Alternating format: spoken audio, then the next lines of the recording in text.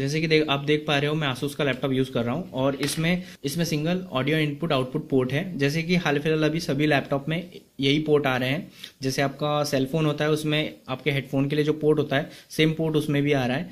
तो आप जो है, वो दो तरीके से माइक ले सकते हैं। या तो आप एक्सटर्नल खरीद भी सकते हैं। एक्सटर्नल खरीदने की ज़रूरत आपको तब पड़ेगी जब आपको थोड़ा ज़्यादा अच्छा साउंड चाहिए होगा। तो आप वो भी ले सकते हैं। और नहीं, आप इनिशियल बेसिस पे हैं तो मैं रिकमेंड करूँगा अगर आपके पास अगर आपके पास अच्छा सेलफोन है तो उसके साथ आए हुए जो हेडफोन्स होते हैं, उसका जो ये माइक होता है, इसकी क्वालिटी भी बहुत अच्छी होती है। मेरा यकीन मानिए, मैं इसको अपने बहुत सारे वीडियोस में यूज़ करता हूँ और इसकी क्वालिटी और जो शार्पनेस है, वो लगभग इक्वेलेंट ही होती है। बट जो मैंने एक्सटर्नल माइक खरीदा है, उसकी थोड़ी सी ज़्यादा अच्छी है, क्योंकि उसमें बहुत सारे फीचर्स मिल जाते हैं। तो चलिए देखते हैं कि इसे कैसे कन्फिगर करना है। तो मैं अभी आपको प्लग प्लग इन करके बताऊँगा और सीधे हम लोग स्क्रीन की तरफ़ जाके इसका कन्फिग्रेशन करेंगे।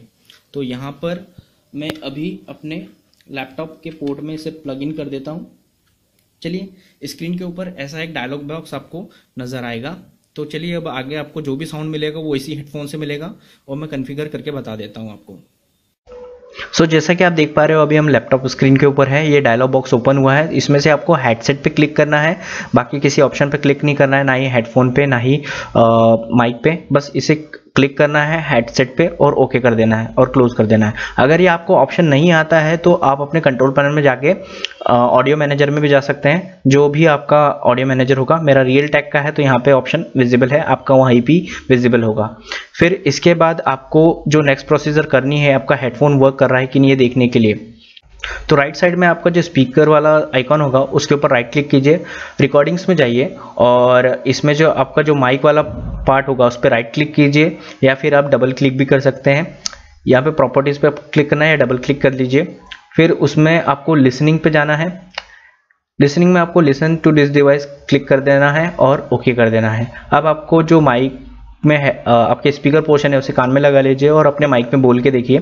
अगर आपको आवाज़ रिटर्न सुनाई दे रही है तो इसका मतलब आपके जो कन्फिगेशन है प्रॉपरली वर्क कर रहा है। तो जो भी अभी आप साउंड ऑफ़ सुन रहे हैं, वो इसी हेडफोन का साउंड है। अब देख पा रहे हो कितनी अच्छी क्वालिटी दे रहा है। इनिशियल बेसिस के लिए बहुत अच्छा रिकमेंडेशन है। सो अगर इस वीडियो से आपको ज़रा सी भी हेल्प हुई है तो प्लीज़ लाइक करना ना भूलिए सब्सक्राइब करना ना भूलिए। और इस चैनल पे मैं दो तरीके से वीडियो अपलोड करूँगा। एक प्रोफेशनल ग्राफिक डिज़ाइनर्स के लिए पूरा ए टू जेड कोर्स मैं अपलोड करने वाला हूँ।